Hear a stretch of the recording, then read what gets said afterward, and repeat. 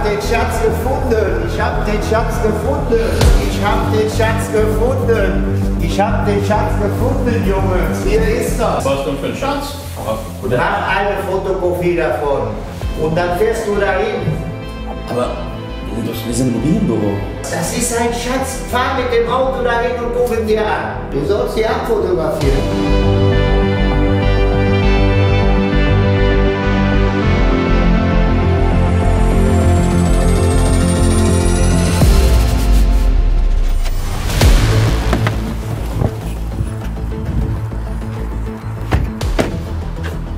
Berge, das Meer. Siehst du irgendwo Sand? Absolut nicht, nein. Kein Sand, es keine Erde.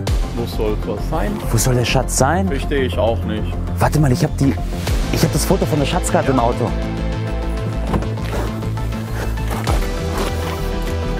Es ist genau hier.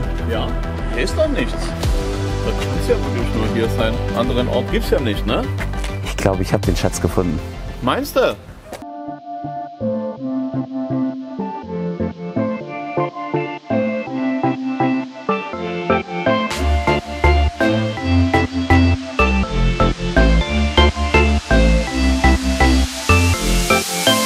Buenas tardes, einen schönen guten Nachmittag. Hier wieder euer Maurice Klingenschmidt von SI Real Estate Mallorca. Ja, wenn ihr das Intro fleißig gesehen habt und verfolgt habt, dann wisst ihr, dass wir den Schatz ausfindig gemacht haben. Hier ist er und wollen euch diesen Schatz natürlich nicht vorenthalten hier auf unserer schönen Sonneninsel Mallorca und nehmen euch einfach mal mit in dieses tolle, minimalistische, moderne Neubauhaus und ja, zeigen euch das Ganze. Kommt doch mal mit rein.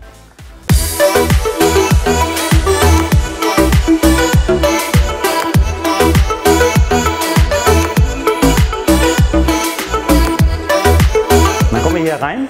Wie ihr sehen könnt, ein großzügiger, heller Eingangsbereich. Wir haben eine Sicherheitstür. Nicht, dass das notwendig sei hier in der Colonia San Perre, im Nordosten der Insel. Denn hier ist es tatsächlich so, dass die Welt noch normal ist, die Welt noch in Ordnung ist. Hier grüßt man den Fischer nebenan noch, hier grüßt man den Nachbarn noch. Hier ähm, trifft man beim Brötchen holen eben morgens wirklich alle, die man so kennt im Dorf. Und das ist natürlich das, was hier auch dieses Dorf ausmacht. Ähm, dass man das Natürliche, das ursprüngliche Mallorca hier eben noch hat. Und ja, deswegen ist die Tür nicht ganz so wichtig, aber doch gut sie zu haben. Und dann sieht man, die Verarbeitung ist auch sehr gut. Wir haben Stauraum hier direkt im Eingangsbereich, für dich auch sehr wichtig. Dann ja, haben wir hier direkt den offenen Wohn-Essbereich, die Küche, die offene Küche. Ihr seht, das ist alles wirklich sehr hell. Man hat äh, einen unglaublichen Lichteinfall. Natürlich ist die Ausrichtung auch perfekt. Das ist also eine Südostausrichtung und dementsprechend haben wir eigentlich den ganzen lieben langen Tag Sonne, immer Licht. Wir haben den Nachmittag, vor allen Dingen den Poolbereich, das sehen wir gleich noch, komplett äh, mit Sonne, mit Sonnenschein und das ist ja perfekt.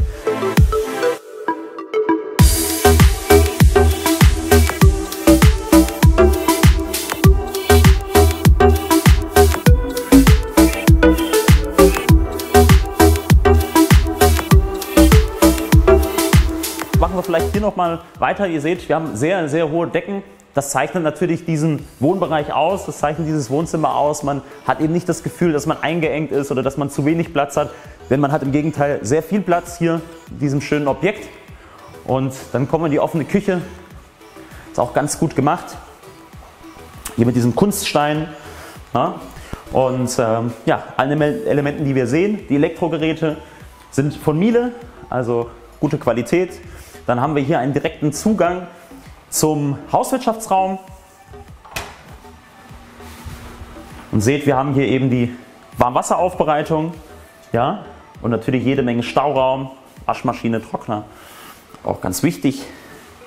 Und wenn wir uns die Küche etwas genauer anschauen, dann sehen wir, wir haben hier auch ein Soft-Close-System. Egal wie wir die Tür schließen oder die Schublade schließen, sie wird soft geschlossen, sie wird leicht geschlossen. Das ist natürlich auch ganz gut, wenn man Kinder hat.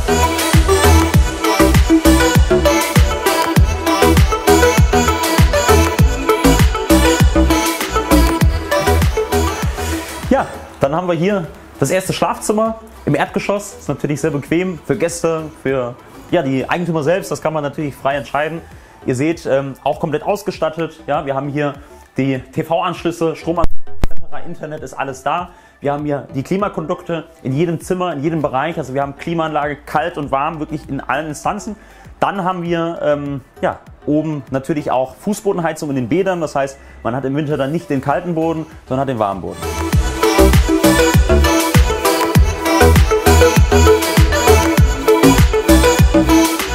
Kommen wir hier ins Badezimmer, im Erdgeschoss und das erste. Ja, alles sehr sauber, sehr clean gehalten mit der Duschplatte. Das ist natürlich ganz bequem. Und äh, wie ihr sehen könnt, die Muster, die Fliesen etc., das sind, äh, die sind alle unterschiedlich. Das heißt, in jedem Badezimmer hat man eine andere Verarbeitung, aber das sehen wir gleich. Wir haben ein Fenster hier auch im Erdgeschoss, das ist natürlich auch super und dementsprechend auch sehr hochwertige sanitäre Elemente und für die Fußbodenheizung eine individuelle Steuerung in jedem Badezimmer. So, dann gehen wir mal hoch und schauen uns mal die anderen Schlafzimmer an.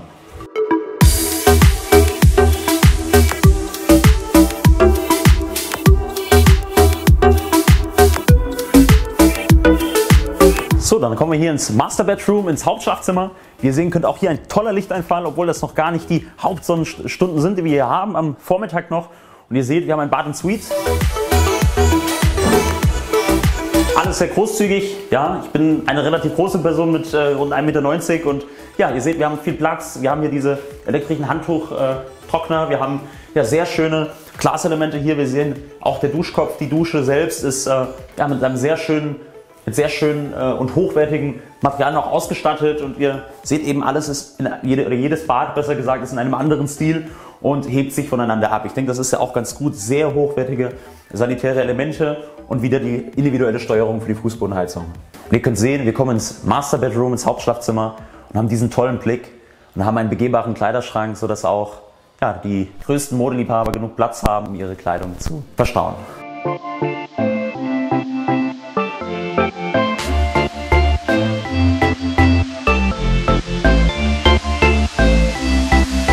Dann kommen wir vom Master Bedroom auf die private Terrasse hier. Ist natürlich wunderschön. Ihr seht im Wohnzimmer eben den, wir haben komplett das Wohnzimmer in Sicht. Das heißt, wir können ganz gut beobachten, was unsere Lieben, was unsere Kinder, was unsere, ob da alles gerade gut ist, ob alles in Ordnung ist, alles passt und haben diesen tollen Blick. Und jetzt stellen wir uns ganz kurz vor, dass wir hier stehen, auf die Bucht von Alcudia schauen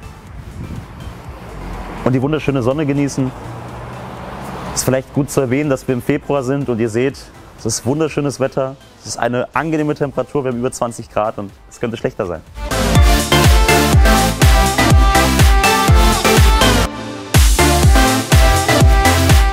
So, dann sind wir hier wieder im zweiten Schlafzimmer. Wie ihr sehen könnt, wurde auch hier viel mit Glaselementen gespielt, um einen besonderen Lichteinfall zu schaffen und natürlich auch einen Mehrblick.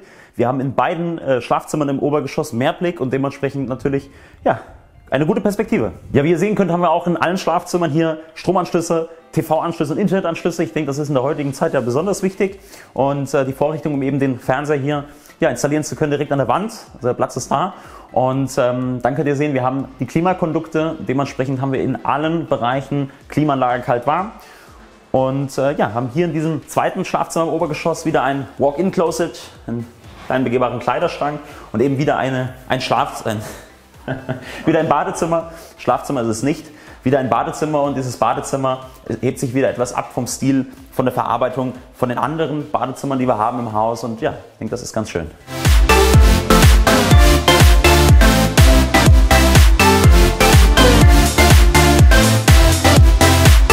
So, dann haben wir noch ein kleines Ass im Ärmel und eine kleine Überraschung für euch. Und zwar das absolute Highlight dieses wunderschönen Hauses aus unserer Sicht. Und nehmt euch einfach mal mit. Kommt mal mit hoch. Ihr seht, wir haben hier eine vollautomatische Hydrauliktür, die wärme- und schallgeschützt ist und dementsprechend ja, die perfekten Voraussetzungen bringt, um auf dem Dach zu sein.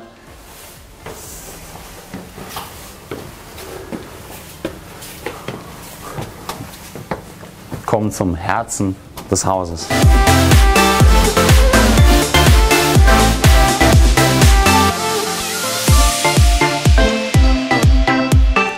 So, dann kommen wir zum Herzen dieses wunderschönen Objekts. Das muss man jetzt mal sacken lassen. In unserer Branche das ist ja etwas verrufen, dass wir sehr viel reden. Deswegen lassen wir das jetzt mal sacken. Zu erwähnen ist ganz wichtig hier auf dieser wunderschönen Sonnenterrasse, auf dieser privaten Dachterrasse, dass wir hier einen verstärkten Bereich haben, der sich genau hier befindet. Das heißt, in diesem Bereich kann, haben wir auch die Anschlüsse für einen Jacuzzi und dementsprechend, ja, muss man sich das einmal vorstellen, visualisieren. Man ist hier auf dieser tollen Dachterrasse im Jacuzzi, hat vielleicht ein Glas äh, Wein, ein Glas Sekt, ein Glas mallorquinischen Rotwein idealerweise und schaut auf diese traumhafte Bucht. Ganz besonders an diesem Ort ist natürlich, dass wir zwischen den Bergen sind. Das heißt, auf der einen Seite haben wir die Berge und auf der anderen Seite das wunderschöne Meer, sodass man tatsächlich das Gefühl hat, man lebt zwischen dem Meer und zwischen den Bergen, was ja auch so ist. Das ist nicht nur das Gefühl. Natürlich super, wir haben eine Außendusche, das heißt, wenn man eben aus dem Jacuzzi kommt, muss man nicht nass erstmal durch das komplette Haus, man hat hier eine Außendusche und kann sich natürlich dann dementsprechend auch hier duschen. Was hier oben sonst noch zu erwähnen ist, ist, dass die Fliesen auch rutschfest sind, so wie im kompletten Außenbereich, also auch um den Pool sind alle Fliesen rutschsicher.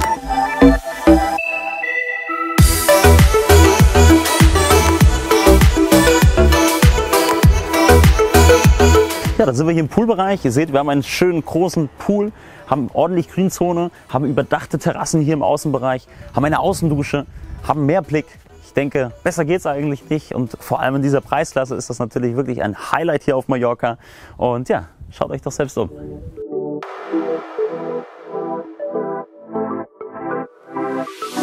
Ja, und ein ganz wichtiger Punkt, den viele wahrscheinlich jetzt äh, oder die, die äh, darauf achten, natürlich sagen werden, ja, was ist denn mit der Privatsphäre, was ist denn hier mit der Hecke? Es ist ein Neubau und dementsprechend muss die Hecke natürlich erstmal wachsen und gedeihen und äh, wenn diese gewachsen und gedeiht ist, dann haben wir natürlich ordentlich Privatsphäre und ich denke gerade bei dem Eckhaus ist das ja doch nochmal etwas besser als äh, bei den anderen Einheiten und ja, ganz toll.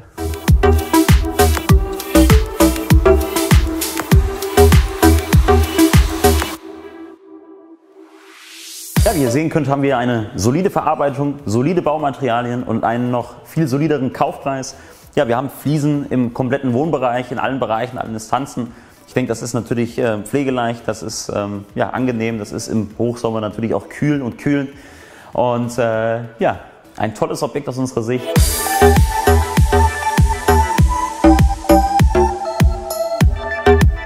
So, dann sind wir jetzt hier im Keller. Ist natürlich in Spanien auch nicht selbstverständlich, einen Keller zu haben, wie die meisten Spanien- und Mallorca-Liebhaber wissen, die sich mit dem Thema Immobilien in Spanien oder Immobilien auf Mallorca beschäftigen.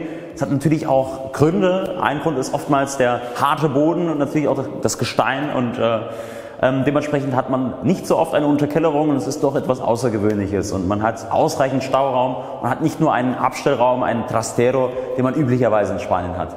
Hier können wir sehen, die Reservewassertanks. Das heißt natürlich, wenn es mal, das ist früher mal so gewesen, das ist allerdings schon 50 Jahre her, da gab es dann mal Wasserknappheit auf Mallorca und ähm, dann wurde natürlich oftmals auch das Wasser in kleineren Gemeinden ausgeschaltet und ähm, dann hat man diese Reservetanks ursprünglich immer gebaut und das wurde hier auch gemacht, einfach weil das äh, ja ein, ähm, nahe lag, das auch zu haben. Ich denke, das ist ja eine zusätzliche Sicherheit, auch die man hat, auch wenn es überhaupt kein Thema ist und überhaupt nicht relevant ist. Dann haben wir eine Wiederaufbereitungsanlage. Diese Wiederaufbereitungsanlage, die wir hier eben äh, sehen, Wiederaufbereitungsanlage, hat äh, natürlich den Zweck oder erfüllt den Zweck, dass man das Abwasser, also nicht das Toilettenwasser, ganz wichtig, das geht natürlich direkt in die Kanalisation, aber alles, was Duschwasser ist, ähm, in der Küche etc., ähm, das wird alles dann sozusagen nochmal aufbereitet, ja, nochmal gefiltert und anschließend eben für die Bewässerung des Gartens genutzt indem wir natürlich ein automatisches Bewässerungssystem haben mit äh, Tropfsystem. Pooltechnik, alles nach EU-Norm, alles nach EU-Standard und alles wunderbar gemacht.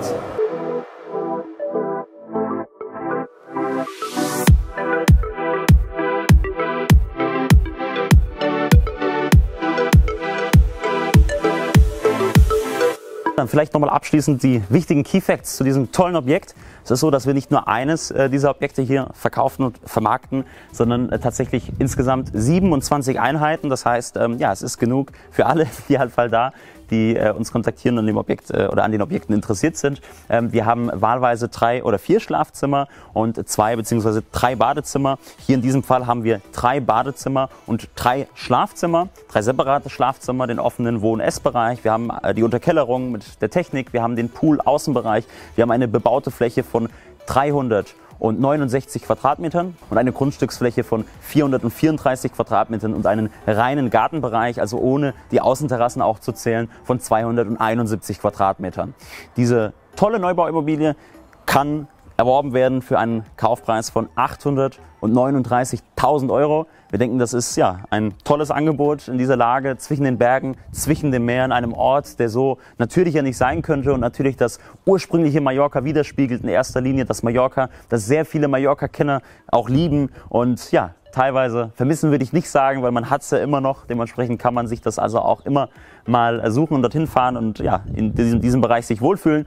Aber wir denken, das zeichnet natürlich dieses Gebiet aus, dass einfach keine Hotels hier bestehen, dass man also direkt am Wasser ist, dass man ja auch unabhängig davon ähm, ja, Geschäfte hat im, im Ortskern, man hat also Einkaufsmöglichkeiten, Ärzte etc.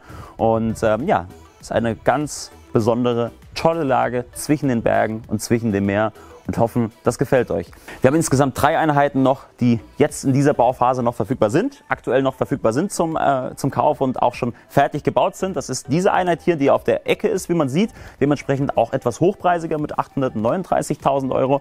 Und wir haben also hier gegenüber baugleich einmal auch mit drei Schlafzimmern und drei Badezimmern eine Einheit und die kann bereits erworben werden für 760.000 Euro. Allerdings unmöbliert, bis auf die Küche, Sanitärelemente etc. Und hier haben wir also das Haus komplett ausgestattet und eingereicht, äh, eingerichtet zu diesem Kaufpreis. Wenn ihr jetzt sagt, das hat euch so gut gefallen, dass ihr vielleicht äh, euren Traum auch leben möchtet und dass ihr vielleicht die Idee habt, auch nach Mallorca zu kommen und ja, das zu leben, zwischen Bergen und Meer zu leben, mit einer mediterranen Prise, in einem ursprünglich geprägten mallorquinischen Dorf, dann setzt euch doch gerne mit uns in Verbindung, gerne über unsere Webseite www.sae-mallorca.com gerne auch telefonisch, gerne via E-Mail vorab, äh, über die sozialen Netzwerke, wie ihr das bevorzugt. Und ja, wir freuen uns, wünschen euch eine gute Zeit, schicken euch ganz viel Sonne aus diesem wunderschönen Ort und alles Gute. Hasta luego.